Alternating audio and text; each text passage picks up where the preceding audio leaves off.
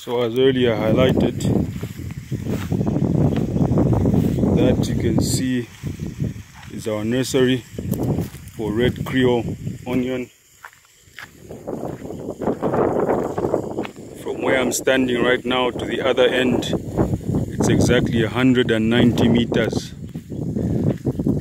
So this seed bed, how many are there? One, two, three, four, five seed beds actually we've started preparations for transplanting.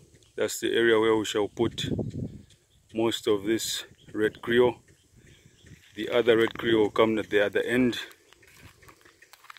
This is another seedbed of Rihanna F1 cabbages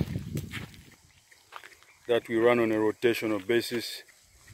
This will take into another field on the other far end. The background that's the Uzwak MIDI doing what it does best making me some more money